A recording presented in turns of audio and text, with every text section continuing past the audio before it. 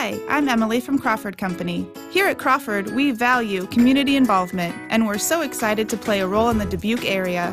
That's why Crawford Company has created the Crawford Cares program, helping local nonprofits have a positive impact on our community. Visit CrawfordNorth.com to nominate your favorite nonprofit organization for a chance to win $1,000 through Crawford Cares. Nominations will be accepted November 3rd through the 16th. For all the details, visit CrawfordNorth.com.